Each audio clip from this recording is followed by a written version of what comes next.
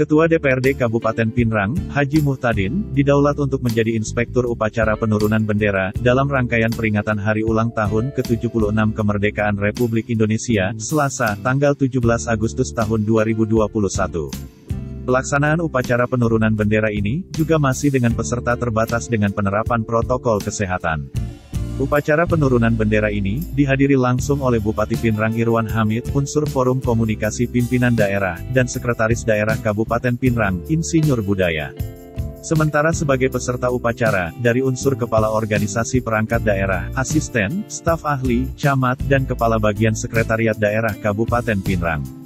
Meskipun dilakukan dengan peserta terbatas, upacara penurunan bendera tingkat Kabupaten Pinrang berlangsung dengan hikmat.